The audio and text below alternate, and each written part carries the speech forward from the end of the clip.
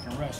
Um, so we look for situations like that where you get to pin your ears back. Um, once offense scored a lot of points and and, and that's what they did today, we got a chance to go rush the passer.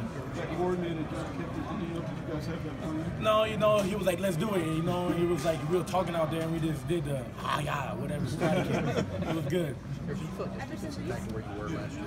Um, you know, we got we still got a ways to go. Um, you know, um, I'm just happy to be back. You know, here with my team. You know, um, after missing five weeks, and it feels good. You know, back in game two for me, and you know, still knocking the rust off a little bit, but it's, it's coming back faster than I thought it would. And you know, um, our defense still, you know, we still got a lot of improvements to make, but we can be good.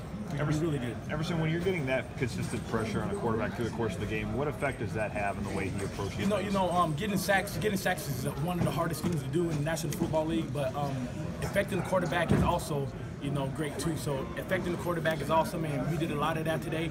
Um, pressuring them, getting sacks, and just keeping them, keep them um, discombobulated in the pocket is always a plus. Were you seeing anything scheme-wise and holding on to the ball a little bit longer than you getting that route?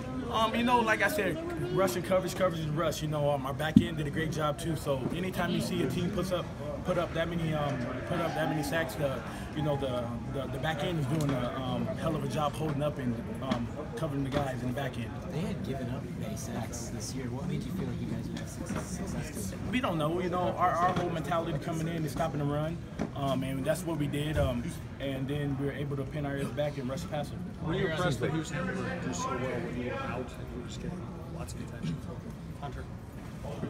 What'd you say? Were you impressed that Hunter was able to thrive so much when you were out? Yeah, you know, he, he's a. I mean, he, he, Hunter is a coachable player. He's a coachable player. He's a he's a freak of nature. Um, he looks like a superhero, and um, you know, I, I expected that from him. I expected him to come in and do great things, and like he like he did. And you know, Steven came in and and Steven came in and did um, awesome job too. Um, and you know, I'm just happy to be back, be back in the rotation, and be back playing to help my team win, and um, and bring back that enthusiasm like I do.